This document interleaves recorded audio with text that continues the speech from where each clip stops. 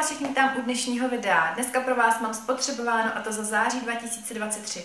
A myslím si, že vám můžu slíbit, že dnešní spotřeba bude ta nejmenší v tomto roce, protože jste zvyklí, že většinou mívám kolem těch 20 a více věcí. Ale tentokrát tady mám sotva 10 kusů, což se mi hodně dlouho nestalo. Krabice je z poloviny prázdná. No a myslím, že už se to asi letos minimálně nestane. O to horší si myslím, že to bude to v říjnu, ale uvidíme, to se necháme překvapit. No a teď se teda pojďme podívat na těch pár kousků, co mi tady tenhle ten měsíc přistálo. Začneme jako tradičně ve sprše. Mám tu sprchový gel a to Brazilian Vibes od značky Online Senses. Já už jsem od této značky měla v minulosti verzi Tahitian Dreams, tuším, nebo Tahitian Dra- uh, Vibes, nebo něco takového. A byl to takový modrý sprcháč a byl poměrně příjemný a měl hezkou vůni. Oni teda píšou, že je to shower oil, jo, jako olej, ale určitě za mě ne, je to prostě sprcháč, jenom takový trošičku tlustší, ale rozhodně to není olej v pravém slova smyslu. Každopádně, co se týče vlastností, tak to bylo příjemný, tak jsem si ho vzala znovu. Akorát zrovna tato verze brazilská mě úplně nesedla svojí vůní. Sice mě v lahvičce celkem vonila, přišla mě celkem příjemná, ale jakmile jsem to pak začala používat, tak na těle už to byla taková jako typická záchodová vůně, jo, takže to jsem si úplně neužila a znova ho teda kvůli tomu kupovat nebudu.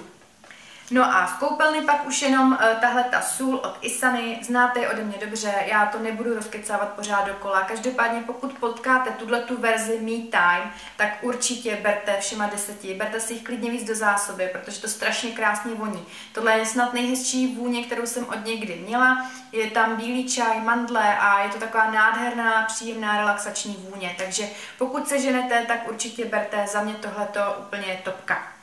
Dále, co tu mám, jsou věci ze sekce vůní. První, co tu mám, je tato tělová mlhovina od značky Žája z ananasové řady. Už jsem o ní mluvila v neoblíbencích a za mě bohužel tohle je neoblíbenec. Sama o sobě by byla super, fakt krásně to voní po těch ananasech. Celá ta ananasová řada je strašně povedená. Hrozně hezky to voní, je to příjemný. Ale bohužel já jsem se po té tělové mlhovině hrozně osypala, takže asi v populce balení jsem to dávala pryč a dopoužívali jsme to doma jenom v interiérech, protože fakt jako na tělo mi to nemohlo. Objevila se mi na rukách krupička a jakmile jsem s tím přestala, tak najednou všechno v pořádku. Takže bohužel tahle mlhovina u mě ne, ale vím, že spousta z vás mě psala, že to je super, že ji rádi používáte, že se vám nic takového nestalo, což jsem ráda, což mě těší, že to je opravdu jenom můj problém, ale jak říkám, u mě teda díky tomu bohužel ne. No a druhá vůně, co tu mám, je parfém, nebo EDP, Eau de Parfum, eh, parfumovaná voda a je to tenhle ten Giorgio Armani Aqua di Gioia.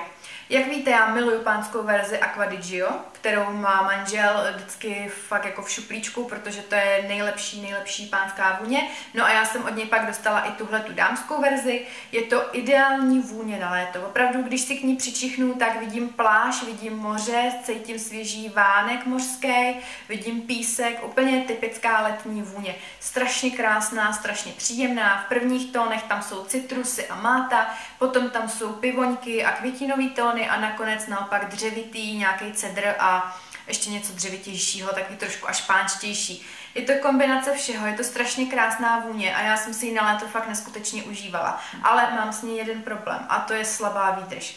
Jak jsem zvyklá na u té pánské verze, že ta fakt voní od rána do večera, na manželovi cítím opravdu bez problémů celý den, tak ta dámská byla za pár hodin neznatelná a byla pryč, takže jsem se s ní musela stříkat častěji a bylo mi to zase líto, protože je to fakt jako poměrně drahá záležitost, ale za mě bohužel prostě co se týče výdrže, tak tahle ta vůně byla poměrně slabá.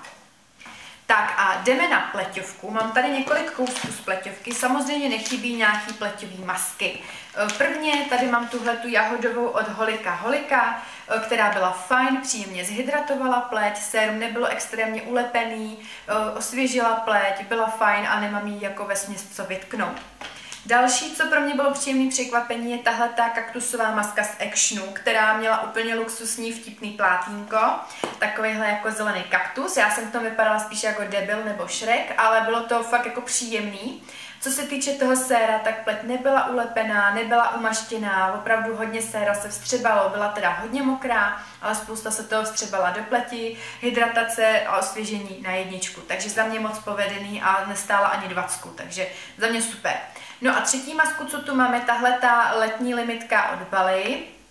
Byla to maska s výtažkem z perel A tady hrozně moc, moc, moc chválím plátínko, který bylo taky úplně úžasný. A bylo to snad nejhezčí plátínko ever. Fakt jako tohle je nádhera a na pleti to vypadalo hezky. A jak já se vždycky přijdu v maskách jak idiot, tak tady mě to přišlo strašně hezký a rostomilý. Takže to jsem si užila. Co se týče té masky, tak já prostě plátínkové masky od Balej úplně nevyhledávám a moc je nemusím. Ani tahle za mě nebyla úplně nejlepší, ale byla lepší než většina z nich, jo. Jako přišlo mně, že hydratace tam byla, ale ne tak dobrá, jako bych očekávala. Takže vesmě jsem s ní byla spokojená, i když znám masky lepší. Ale je fakt, že plátínka lepší asi neznám. No a poslední dva kousky, co tu mám z péče o pleť, Eh, je tady micelární voda od L'Orealu, tahle ta eh, pro normální až citlivou pleť. Eh, mám ji už po několikátý a za mě je úplně skvělá, je to jedna z nejlepších micelárek, co jsem měla a nemám ji určitě ani naposledy. Nelepí, opravdu stáhne make-up a veškeré nečistoty z pleti, pleť potom není podrážděná, není ani vysušená, fakt je skvělá, je to jedna z nejlepších micelárek, co jsem kdy měla a jak říkám, používám opakovaně. No a poslední kousek byl taky příjemným překvapením a byl to krém od Mixy a to tenhle ten Hyalurogel eh, ve verzi light. Oni mají ještě rich, mají ještě pro víc výživný krém, pro suchou pleť a tohle to je pro normální a dehydratovanou pleť. Za mě super. Já jsem ho používala teda na etapy, já jsem ho začala používat už někdy na jaře a pak jsem se osypala a já jsem z toho podezírala právě tenhle ten krém, ale pak jsem zjistila, že neoprávněně, že to nebylo tím krémem a ten mý pleti nějak neškodil, takže když jsem ho začala používat znova, naopak jsem z něj byla nadšená. Je krásně lehoučkej, okamžitě se vstřebává, pleť hydratuje zevnitř, zároveň e, je fajn i pod make-up, můžete v okamžiku na něj dávat make-up a ten nedělá žádnou neplechu, příjemnou vůni má dokonce a takovou jemnou, takže za mě super, já jsem si tenhle ten krém užila a kdybych kupovala znova nějaký denní krém z drogerky, tak určitě klidně půjdu tady do toho. Ta verze Rich by mohla být fajn na noc, takže třeba časem se podívám i po té druhé verzi, ale tahle tam mě fakt skvěle sedla a pod make-up na den za mě byl úplně ideální. Takže tolik teda krému od Mixy. No a to je všechno. Přijde vám to taky divný, že tady toho mám tak málo. Pro mě je neskutečně, ale myslím si, že příště si to zase vynahradíme.